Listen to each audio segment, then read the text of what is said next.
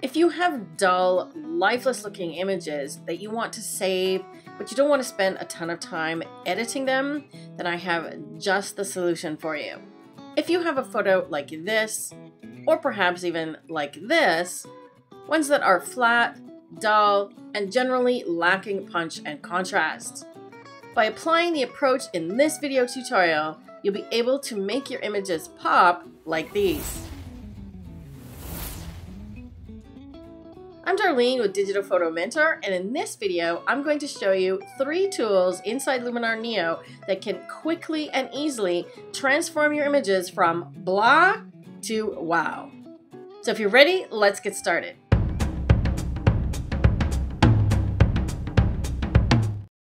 As I mentioned, there's three tools in Luminar Neo that are my go-tos for when I want to add a bit more punch to my images.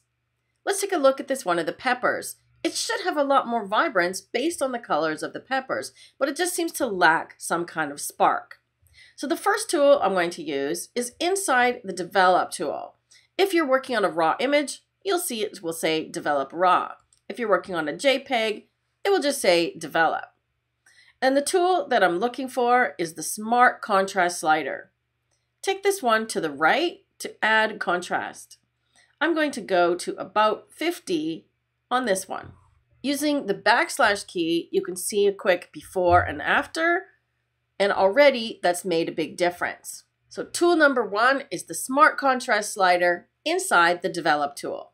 The next one I like to use is in the Color Harmony tool.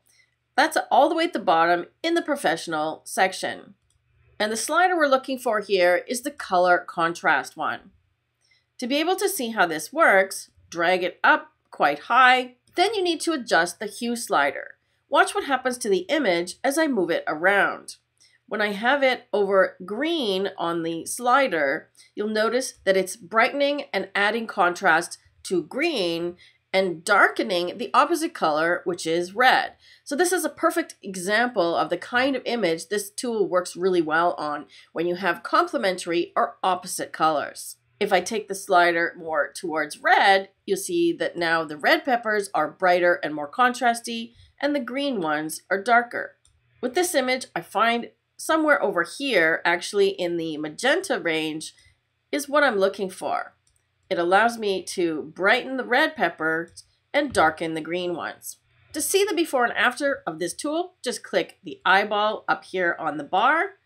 You can see that it's doing a really nice job punching up the colors even more. If you find the saturation is gone a bit too far, just dial the Brilliance slider a little bit to the left.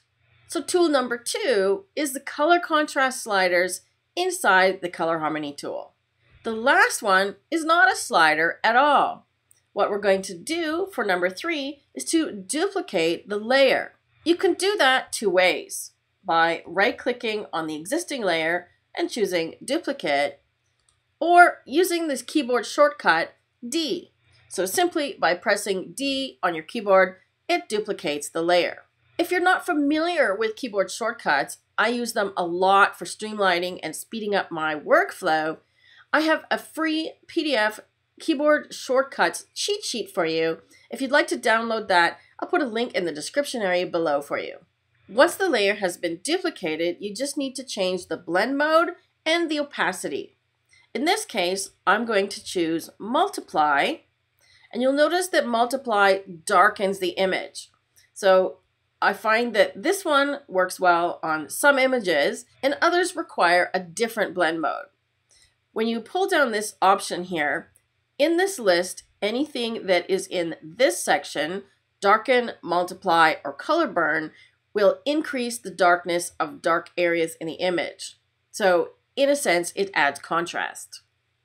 Anything in this section here, lighten or screen, will brighten the image or look for things that are brighter. Usually those are not going to give you the punch that you're looking for in this case. The other section you want to look at is this one here. Overlay, soft light, or hard light will add contrast. Let's see what overlay does here. So notice it adds a bit more brightness but definitely you could see the increase of contrast. Soft light is exactly as it sounds, just a little bit softer than overlay. So for this image, I really think Multiply did the best job. Let's take a look at the before, flat, dull, and lifeless image, and after. I was able to do this in three steps in less than two minutes. And I have a bonus tip for you. If you want to speed it up even more, you can save it as a preset. But I want to show you something first because you want to make sure you save a preset a certain way. I'm going to save this one as preset and I'm going to call it punch mistake. You'll see why it's a mistake in a moment. Then I'm going to grab another image and try that preset. Here's an image of a flower that needs some punch as well. So I'm going to choose this preset that I just created. Uh-oh, can you see what happened? If we look at the edit panel, it actually added a layer, but the layer is the peppers. So if you're going to create a preset, do that before you duplicate the layer. Because as you can see here, it hasn't duplicated the flower, it's added the peppers. Not what we want. So I'm going to remove that and apply one that I made earlier without the final step. So this preset just includes step one and two. Once it's applied, all you have to do then is go into the edit panel in your edits here and just tweak it a little bit. If you want more contrast or if you need to darken or brighten the image at all, you can use the exposure slider. And make sure that you go back to this color contrast section and choose the right color for this image. Because the color I chose was for the peppers and it worked well on that image, but this one works better more up in the green area. See how that's really punching out the colors in the flower? You could also take this step a little bit farther if you wanted to mask it. For example, if I don't want this to apply to the background, you could just mask it with a radial filter like so. Make sure to invert it so it only applies to the flower. Now I'm only punching up the contrast on the flower. So once you've applied the preset, then all you have to do is tweak the sliders a little bit to suit that image and do the layered duplication. In this case, multiply works well again, and it actually helps to darken the background and bring the flower out even more. So play around with the blend modes and the opacity level to get just the look that you want. And you can also continue editing your image from here. But I just wanted to give you the three quick steps that you could apply in a snap to increase the punch and improve your image.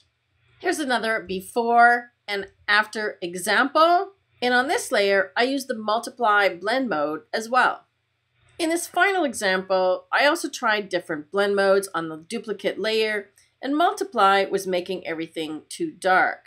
So in this case, soft light added some contrast and punch, especially to the brick area of the wall that was really flat in the original. Here's the full before and after. Let me ask you this. Do you have any images lying around that are blah that you've considered just tossing out? If so, will you be trying this technique on them? Let me know in the comment area below.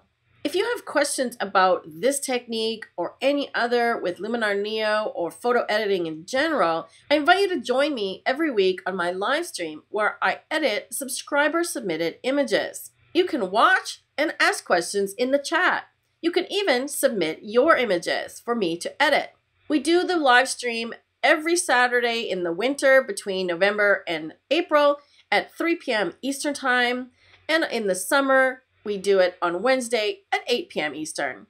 You can get all the information on how to join the live stream or submit your images in the description area below. If you want more extensive Luminar Neo learning with step-by-step -step instructions, check out Luminar Neo The Complete Course. Or if you want to watch another YouTube video, check out this one now. Until next time, take care and we'll see you soon.